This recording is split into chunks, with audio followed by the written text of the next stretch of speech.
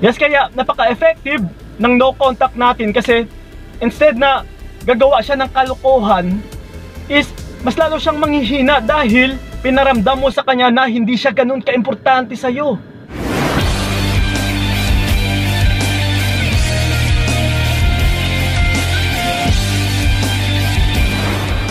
Yon, what's up? Ayan, kamusta mga utol and then welcome sa video na ito. So once again, this is pa yung kaibigan ni Kiko. So syempre, usapang pag-ibig pa rin dahil ito ang magiging topic natin sa video na ito is um, paano bigyan ng pasakit ang lalaki? Yon. So ito mga utol ah, bilang isang lalaki na rin, yes, isisiwalat natin ha, based on my opinion or sa perspective na nga bilang isang lalaki, isisiwalat natin kung paano rin mabigyan ng pasakit yung kapwa ko mga kalalakihan. Yes, pero depende na rin ito utol kung saan ninyo gagamitin na situation. Pero basta yung sa akin is gusto ko lang din matulungan uh, let's say na nasasaktan ka is kung paano mo rin talaga bigyan ng pasakit yung partner mong lalaki. Well, una sa lahat ay ang gusto kong mangyari dito utol or yung kailangan ko lang ay maging matatag ka muna. Kailangan is maging matapang ka or magiging strong ka. Kasi once na ikaw ay marupok, ikaw ay mahina, kahit ano pa yung sasabihin ko dito utol ha, no, which is parang pinapangunahan ka ng iyong pagmamahal, ng iyong emosyon, ay hinding hindi mo rin talaga magagawa kung ano man yung ipapayo ko sa inyo dito ngayon. Haso ngayon ito ha, kailangan is maging matatag ka talaga para magawa mo rin sa tama. Kasi ito mga utol ha, kung nasasaktan ka man, ha ikaw ay takot or um, dahil na abuso ka depende rin kasi ito sa behavior na pinapakita or sa pagtrato na pinapakita mo sa partner mong lalaki. Kaya ka nasasaktan ngayon. Kaya ka naaabuso. Or kaya mas lalo ka pang niloloko or binibigyan ng pasakit.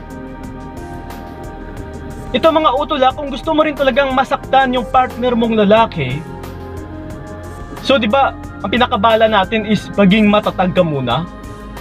Yes, kasi once na ikaw ay maging matatag, dito na rin papasok yung lahat-lahat or susunod na yung lahat-lahat na magagawa mo na hindi ka matatakot sa kanya. Actually, kaya ka lang din naman nabibigyan ng pasakit ng partner mong lalaki dahil sa takot eh.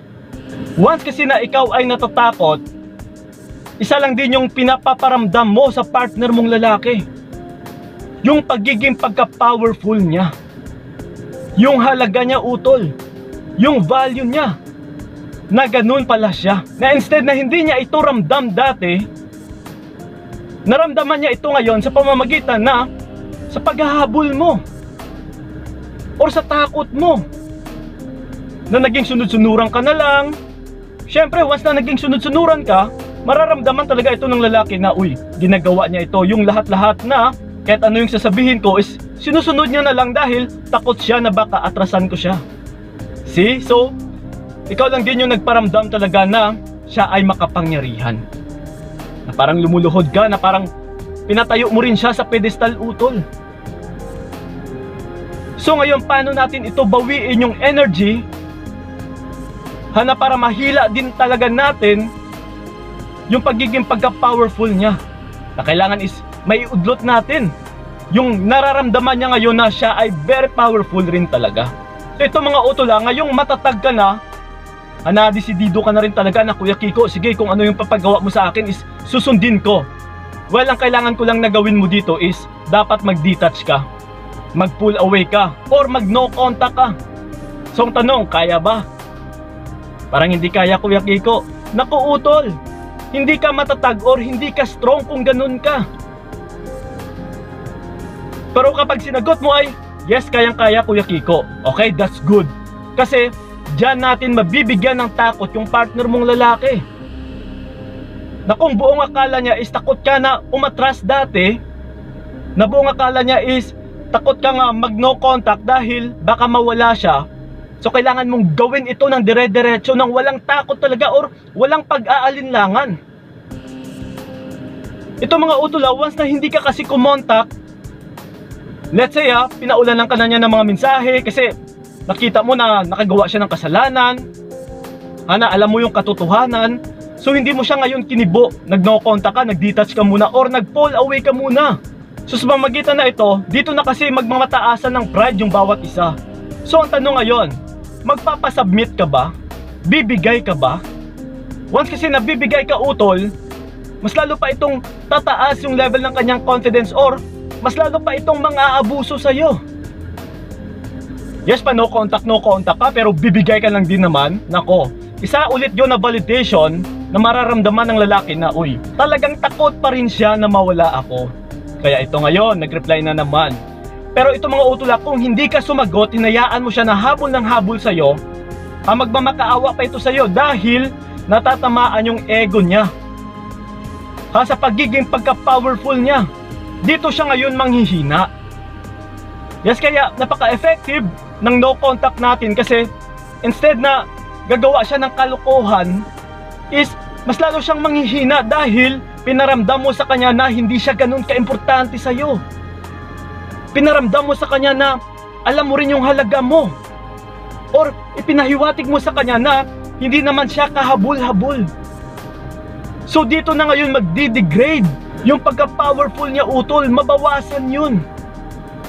Hanggang sa magmakaawa na siya sa iyo, baka ikaw pa yung tuluyang mawala sa kanya.